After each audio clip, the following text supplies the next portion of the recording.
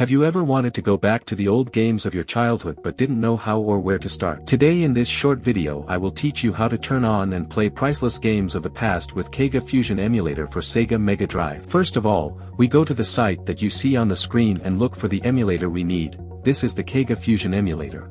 The link will be in the description below the video. Download the emulator and here you can immediately see the difference between this and most other emulators. Kega Fusion does not require installation, it is a portable emulator that also does not require additional downloads of other elements such as BIOS images. On this screen, you can change various settings, but in general, you can leave everything at the default, except for the control settings.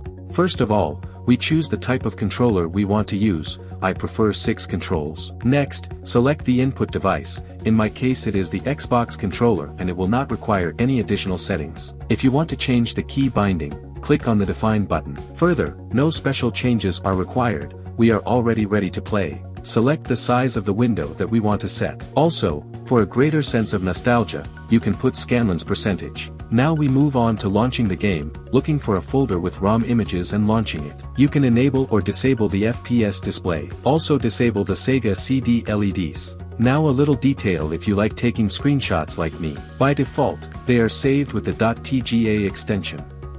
To change this, we need to go to Settings, Extras and select the BMP file format. Now I'll quickly show examples of enabling different display settings to simulate the screen of an old TV.